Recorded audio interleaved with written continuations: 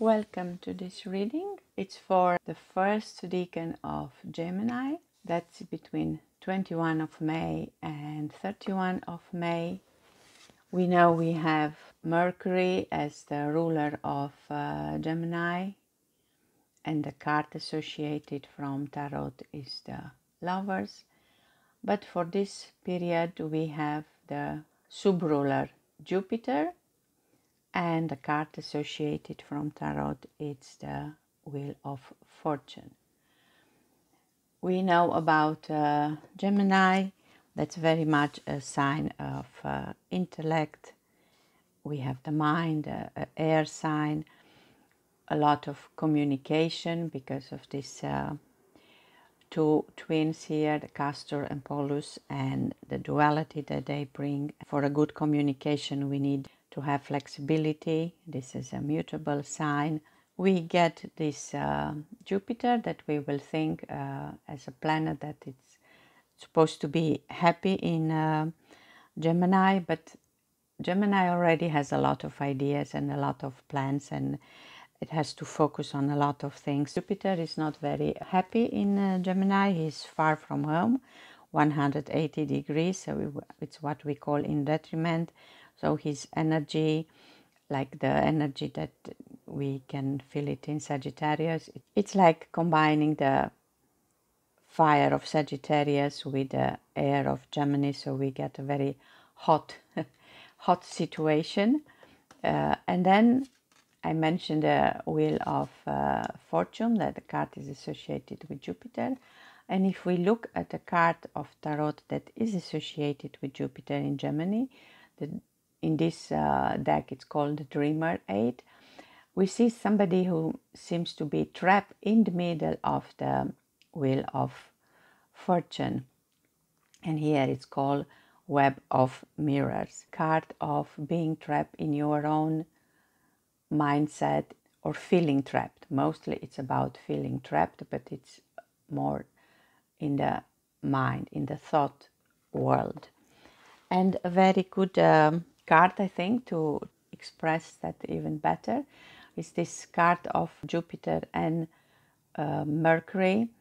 It's like uh, here Jupiter is the teacher with um, Sagittarius, and then Mercury is the one who still has a lot of to learn in this uh, Gemini sign, but it's willing to learn, and uh, that's a good aspect of this um, combination.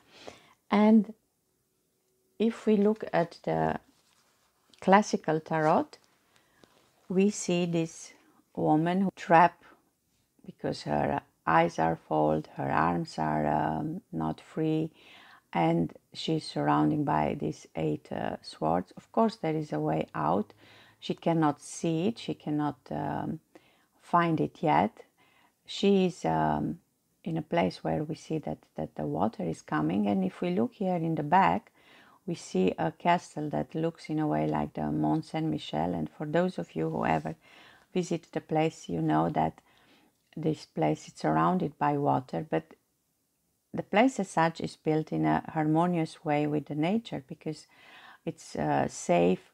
Even if the waters go up, um, it will not. They will not reach the the castle, and she is now let's say in a place where the water can come and rise it's an extra danger to the situation. If we see the tarot before indeed somebody put her there in this place. Of course we consider this as more as a mental prison but it's also a prison due to the fact that uh, we are not in harmony with the nature anymore. We are trying to modulate the world according to our own thoughts instead of looking around and see how nature deals with things and how to learn an harmonious and balanced way of living from nature as such. So she got there, and of course, she is alone because we have the lover card, and here, like the person is alone without her soul partner and if we look from uh, behind we see that the sun is coming. So she can find her way out in in time it seems from this uh, card. And then we see the tarot after when like i want like to see love will uh, make you free that her partner comes and help her using one of the swords that is all around her. So she could have even free her hands if we look better here she had time to free her hands and the idea is that when you cannot see when you feel that you are trapped like your senses, uh, some senses, you cannot use them, then maybe you have to go within and find a solution there. And but first, you have to admit that you are in a trap situation. You don't know where to go and what to do, and then start asking questions. Start hoping for uh, your intuition to show you the the way out, and the solution will rise using your um, inner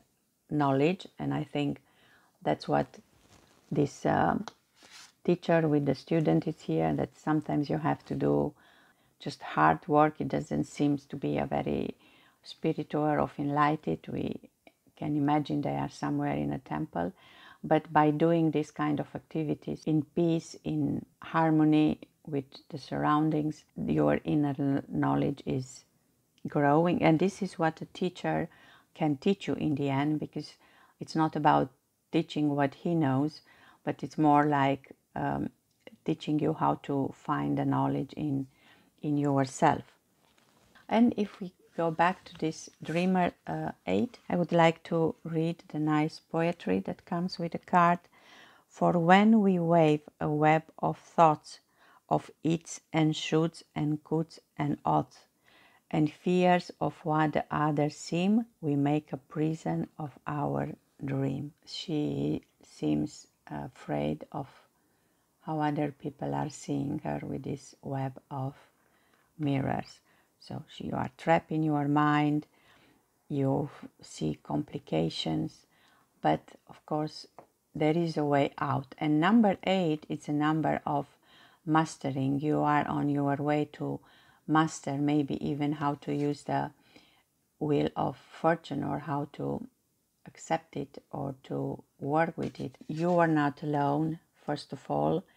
Even if it seems hard, you can there is a lot to learn from it and you can you can get out of this prison. And in another uh, deck, the Angel Tarot uh, deck, this um, Eight of Swords becomes Eight of Air. It's an air sign and we see this card talks about illusion of being trapped because it's an illusion, a lack of self confidence, afraid to take action.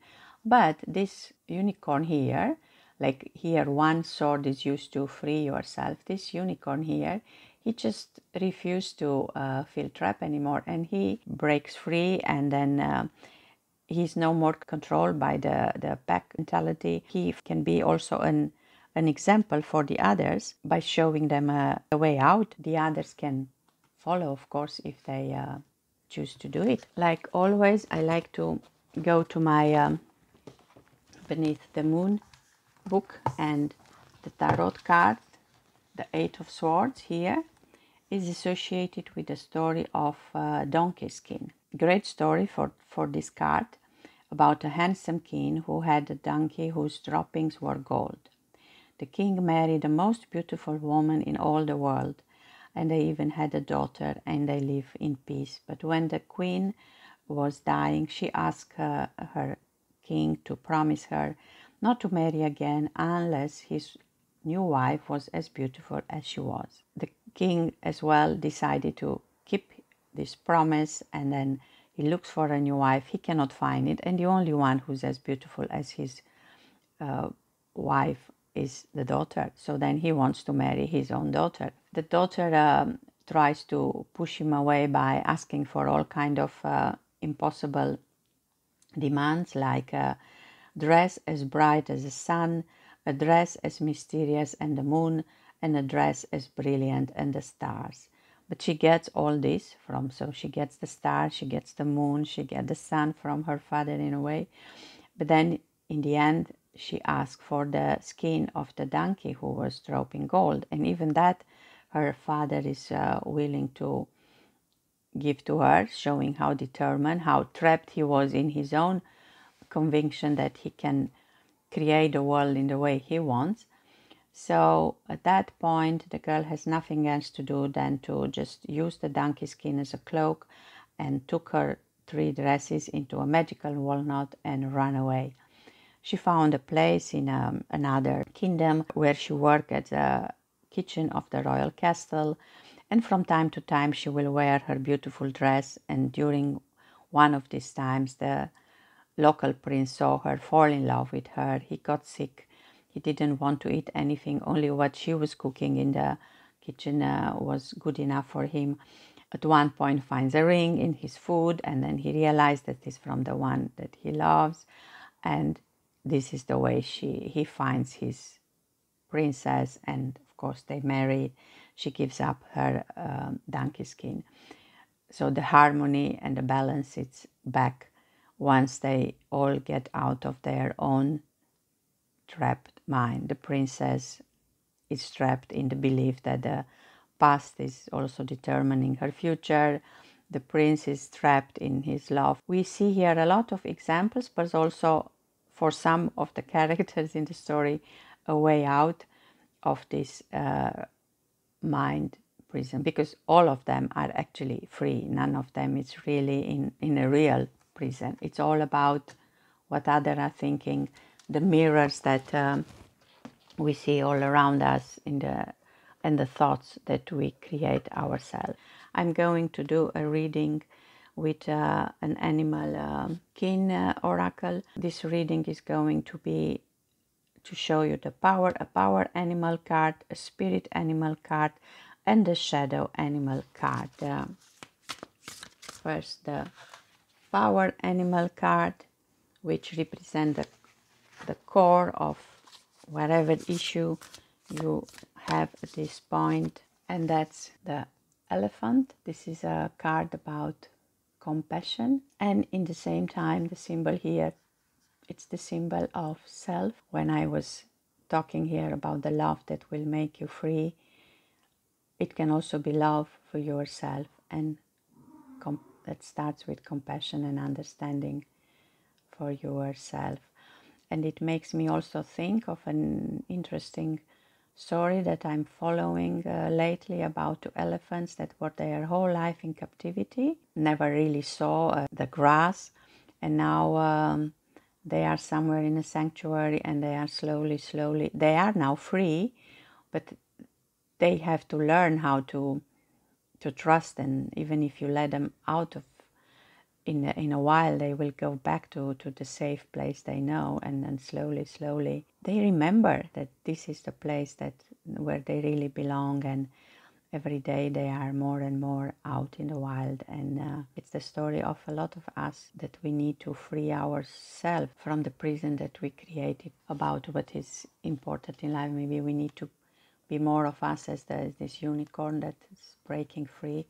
So this is the the power animal here the elephant. And then we look for a spirit animal that will can be a positive energy. And the positive energy is the energy of the butterfly and the one who of course brings change. Again a spirit card so it's about the change. It's coming from from inside a good card for the spirit animal and the shadow animal card it's about any kind of fears of negative influence that you need uh, to heal at this point and that's the card of uh, barrier and protection. And it's again a spirit card. You think you need to feel protected, to fear that you are not safe, which is totally understandable in the times we are living now. And even when we think about energies, we feel we need to be protected. But I believe that, um, and I trust that once we are light, once we change, once we find compassion, once we break free, once we find love, true love in ourselves and, in, and even then we can experience with people around us this protection it's no necessarily uh, needed and now i see even the cards are a 40 a 42 and then a 44 so that the real uh, master number here, the, the 44, which it's not a coincidence. We said that 4 was like for Jupiter, 44 is an 8. So 2 times 4 is an 8. This is also once we manage to cover the fear, we can stand up for what we love and we can protect the things. We work hard for the things we love. And with this, uh, wish you all the best and thank you for watching.